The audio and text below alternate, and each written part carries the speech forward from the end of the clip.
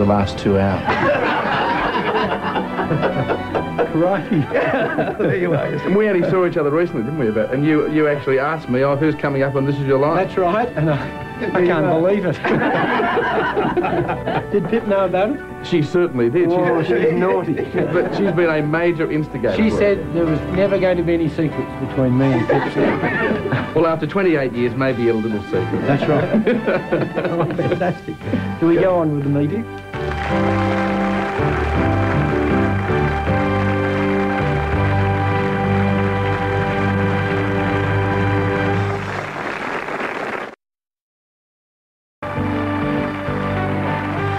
and gentlemen, Dick Smith. Where is he? Here I am. I'm here. Am I supposed to jump around? There's Uncle Pete. Oh, A few faces. yeah, yeah, I can see people I know in there. Tony Hatton. Oh, yes. Now, you, you, now, the two-way mirror that we used this afternoon, Yeah, that wasn't fair. it, it wasn't very fair. Because I hate meetings. Do you? Yes, and, and for me to, I have a 10 minute attention span. I'd rather be rock climbing. So I don't know what you got of me at that meeting. Well, let's just have a look at some footage. It's rather embarrassing. I, I, I know you're a good sport. You won't mind. There it is. Dozing off. What we're trying to achieve is across the board enthusiasm for this message. The message is everything, and you have to realise that uh, So no one can say that uh, that we tell people about this because uh, there's no way you would have been dozing off. No, no way. Don't show anyone that, please. the, the Prime Minister will be horrified. Dick, please take a Thank seat. you.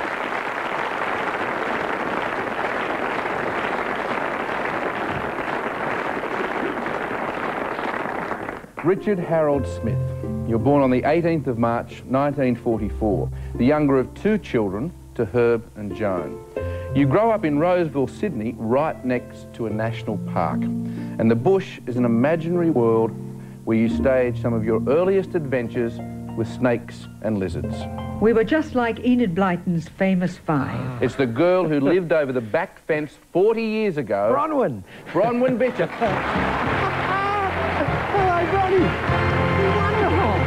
Ah. well, what a surprise. What a surprise. So did you have a secret club going or something, did you? Oh, certainly. We had a, a clubhouse down in the bush that was a sort of old pigeon loft. And uh, we had secret codes and magical adventures. Were you the accountant or was I the, the treasurer? I was the treasurer. Right. No, no travel routes? No travel rules. No, no. they were wonderful days in the bush, and you could. In those days, kids, of course, could just disappear into the bush, couldn't we? And no problems. Absolutely. And we had our own private waterfall, too, a little bit further down. But I was the treasurer. I think that made me the boss, didn't it? That's right. And, and then, of course, when Bronwyn became famous, I said, I know her. Robin, thanks very much for joining us. Great Thank you. pleasure. Thank you. Pleasure, Dick. Lovely to see you.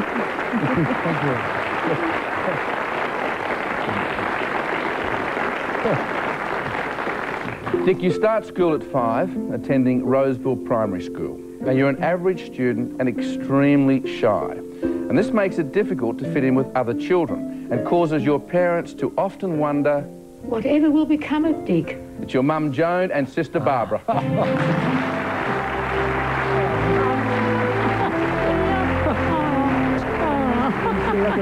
mother.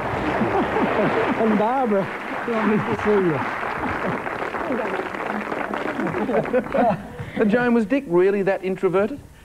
Well, he was very shy. He was different to the uh, other children that were around us. But I think he marched to the tune of a different drum.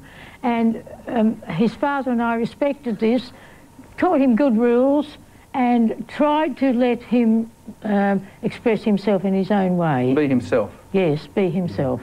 Yes. I had wonderful parents. And a wonderful family life. It was just wonderful in those days. Good brother, Barbara?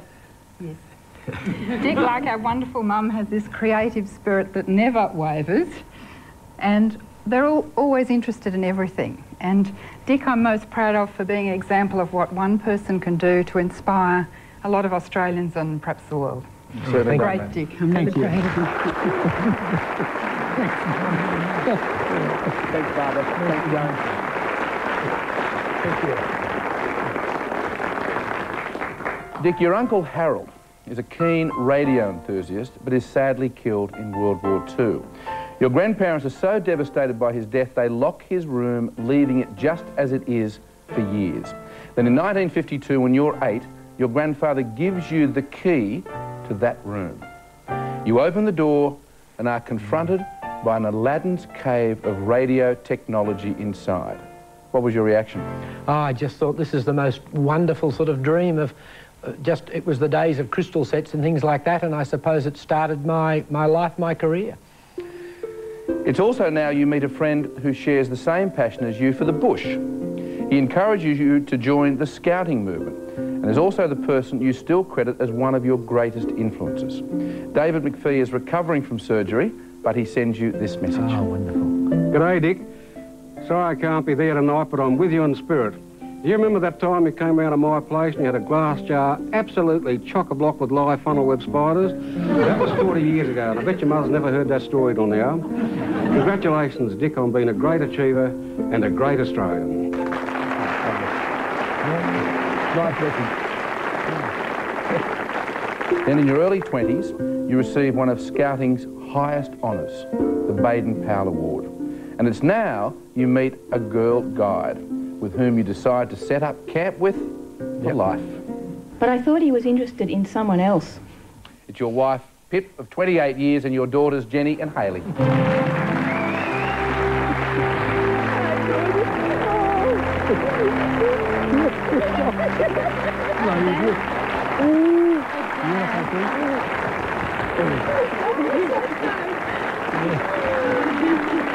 Aren't they beautiful, all They of are, they are. The women in your life. Yes. Now, Pip, why did you think he was interested in someone else? How could he be? Well, I was a very shy 17-year-old schoolgirl, and my twin sister Susie had told me she thought that Dick had another girlfriend, but I found out later that wasn't true. And then I discovered that he was interested in me when we went out in a boat together, and you held my hand. Right. And we're still holding hands. That's great. And Jenny, how would you describe him as a dad? Oh, he's the best dad in the world. Ah, oh, she's He's the most busiest man. He really is the busiest man, but anytime Hay and I wanted his time or attention, he always gave it to us. And Dad, we love you very much, and we're very proud of you. Oh, thank you. Aren't you kind? And Hayley, you, you girls have always been particularly close to your father, haven't you? Oh, absolutely. I don't know if you've been to an Australian Geographic shop lately, but you imagine. Every time you go shopping, he's always looking at us just to make sure we're not getting up to too much trouble. So, um, Dad, even when we were young kids, you taught us how to roller skate, you taught us how to ride a surfboard, even though you couldn't do either of them. we think you're just the best, and thanks for everything. Oh, aren't you wonderful? Thank you. Thanks, girls.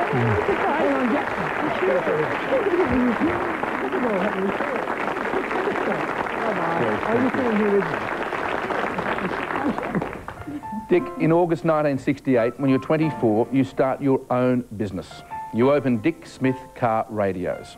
Then after five years of hard work and determination, you open the chain of Dick Smith Electronics stores. And there with you, right from the beginning, is your old friend Ike Bain, who's in the audience with us Hi, tonight. Ike. Your stores sell everything from batteries to electric toilet seat warmers. That's right. Dick, is it different sitting on this toilet to any other toilet, do you think? well, it's exactly the same, except it's just a little bit warmer, which makes it a lot nicer, of course. And how does that feel to you then? Well, unfortunately, I've got my pants on and so forth at the moment, but I've had one of these toilet seats for about three years, and they're really fantastic. That's embarrassing. And after the break, Dick literally takes off. But first, some messages. Dick, congratulations. It's a tribute which is thoroughly deserved, for you've been an inspiration to countless thousands of Australians as we've all watched you test the limits of uh, courage and endurance on your various adventures and challenges around the world. You've been a great ambassador for Australia, and I know this from having been in countries after you visited there.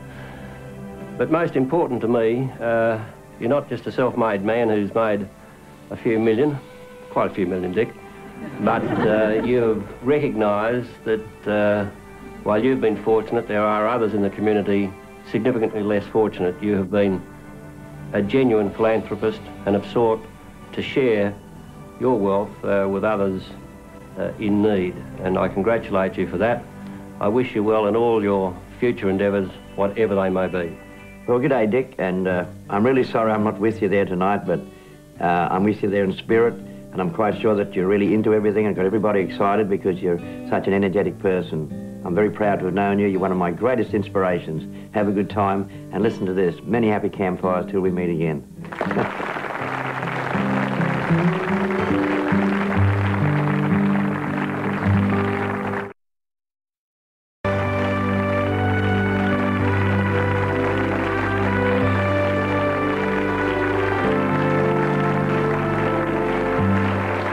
Welcome back to This Is Your Life and the Adventures of Dick Smith. By the time you're 36, Dick Smith Electronics is a multi-million dollar empire. It seems you're capable of just about anything you put your mind to.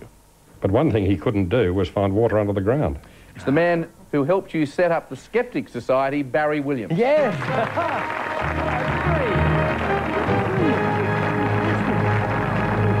I'm now, now tell us about finding water, was it?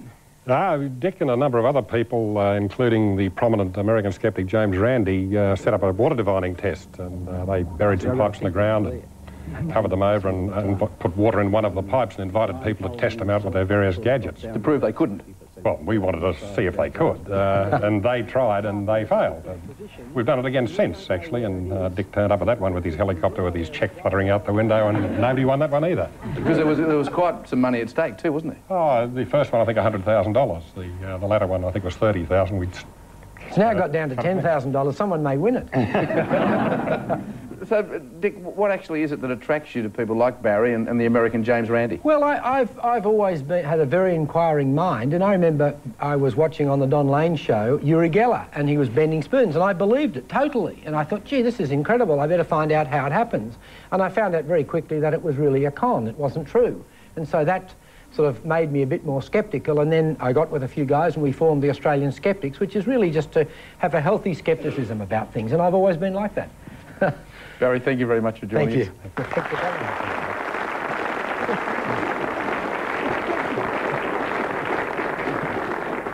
Dick, by now you own over 50 stores throughout Australia and New Zealand, but you crave new challenges, something different. Why?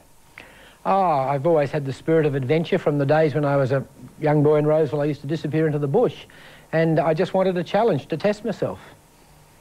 So you decide to sell the business. And this now gives you the freedom to do what you long to do most, to take off on a great adventure. And after two years of planning, you embark on your incredible round-the-world solo flight in a helicopter. This epic journey tests every mental and physical fibre in your body. But they aren't the only odds you're up against. When you land at Balmoral Castle to meet Prince Charles, you discover bullet holes in the chopper's fuselage. And one of those bullets comes very close to hitting you. Do you know what happened? No, we, we could never work out. I flew down the coast of Greenland and maybe some Eskimos had got their sealing rifles out and shot at the helicopter. I don't know what happened. And how close did that one bullet come? Oh, just right in front, about nine, nine inches from me. Very lucky. After 50 long weeks, you complete the world record flight, which still stands today. Two people who also take part in your adventures and stunts are Nancy Bird Walton and Hans Tholstrup, who join us ah, now.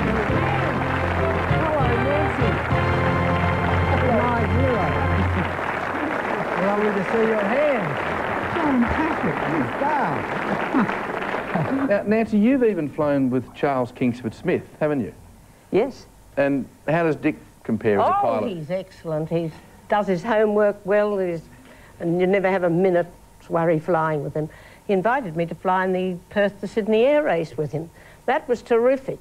I nagged him a bit, said, keep it on the step. I remember that. But he said, you know, you mothered us. I said, he said, you were like a mother. I said, no, you mean a mother-in-law. She's absolutely wonderful. and, and Hans, you've been involved uh, in some of Dick's craziest stunts, haven't you? I think the most dangerous thing Dick ever did was when we jumped the double-decker bus over remind the, me, please. over the motorcycles. Double-decker bus? A double-decker bus over the motorcycles. Evel Knievel was jumping over, uh, remember he was jumping a motorbike over double-decker buses. Well, I couldn't ride a motorbike. And so I thought I'd do the opposite. And so I managed to talk Hans into driving the bus. It only cost $1,200 for the bus, and uh, we got immense publicity all around the world. Can't imagine. Nancy Hans, thank you very much Thank for you. joining us. Thank you. Thank you. Lovely to see you. And after the break, Dick once again flies into the history books, but first, some messages from some mates. Congratulations, Dick. I'm sorry I can't be with you tonight. Do you remember eight years ago when I was preparing for my flight around the world, you came into the hangar where my aircraft was. It was in a hundred bits. I was hoping you would give me your support. You didn't think I was disorganised and you did support me morally and financially. And I really did appreciate that. It just was so important to me at the time. Dick, I think you're an incredible inspiration to Australians. Congratulations on tonight and have a wonderful time.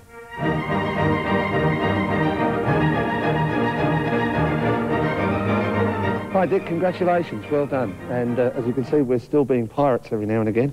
Three and a half years later, and very much thanks to you for that, because I'm sure that if you didn't become our guardian angel by putting money into the Sydney season, we may not be here today. So all the best to you and to Pip. And Pip's got to now twist your arm as we all go off to Broadway with Pirates, and hope you come along. See ya.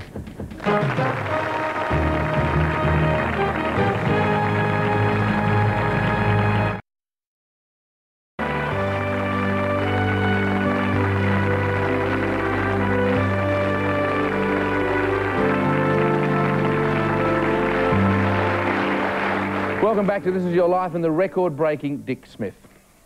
In 1986, you launched the Australian Geographic magazine, and this makes you the country's most successful single-title publisher.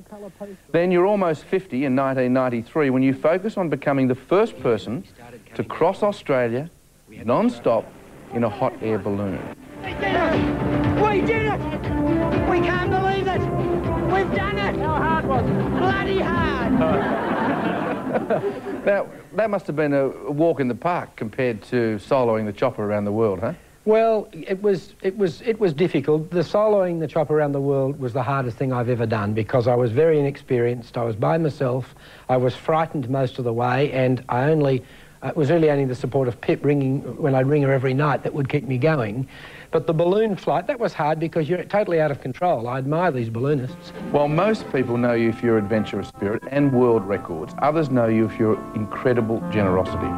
And one of those people is the Reverend Ted Noffs, who approaches you to help set up Life Education Australia, the biggest community-run drug education program for primary and now secondary school students in the country. You develop a close bond with Ted, who loses his battle after suffering a stroke.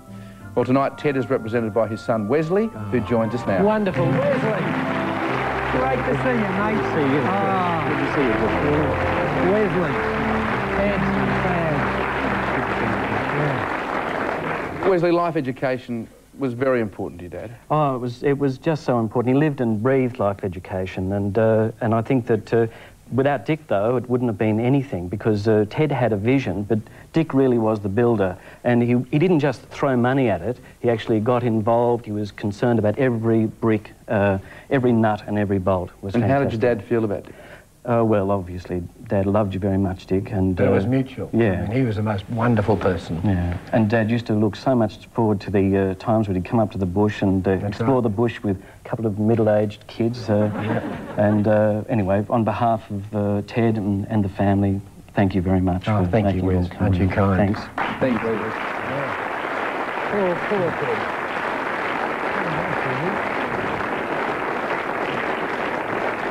Now, Dick, there's one great friend who wouldn't miss being here tonight for anything, even if that meant us flying him all the way from Florida to be here. It's the well-known international skeptic, James Randi. Ah.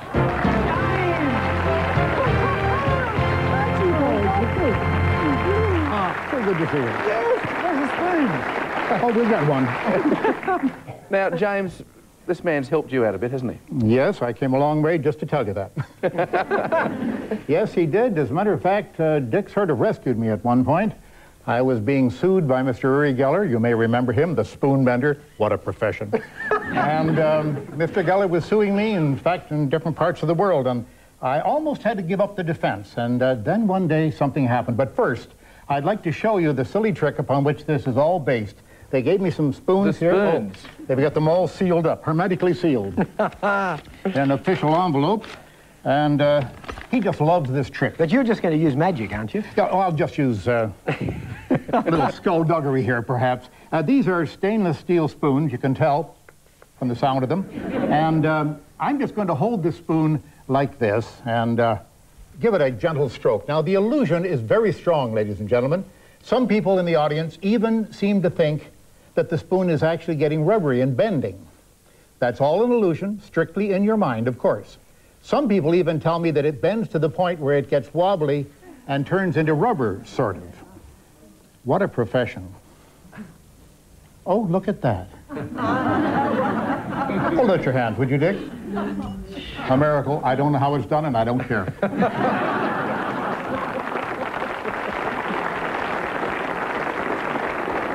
Well, this is what started me into skepticism because it was seeing Uri Geller do it, and I thought it was, you know, scientific, but it appears it's just magic. What I did here was the trick. When Mr. Geller does it, he says it's a divine power. I did it without divine power. Can you imagine that? And I must say that uh, when I was very short of money there, I didn't ask for it. Dick didn't announce it, but suddenly at my home in the United States, an envelope arrived. I opened it. No comment inside, just a check for a rather substantial amount of money. Now, you may think you're a very fortunate man. We're the fortunate ones, Dick, because you believe not only in people, but you believe in your country, and you believe, more importantly, in yourself. That's Mr. Smith. Aren't you kind? Thank you. Thank you, Alan. Thank you very much. Thank you, James. I'll put it down here. Isn't that lovely? Thank you. um, Well, Dick, you've certainly flourished from that desperately shy schoolboy to a leading businessman to Australian of the Year. And you'll always go down as one of our greatest adventurers, but the bottom line is you care. Dick Smith, this is your life. Thank you. Thank you, Mike.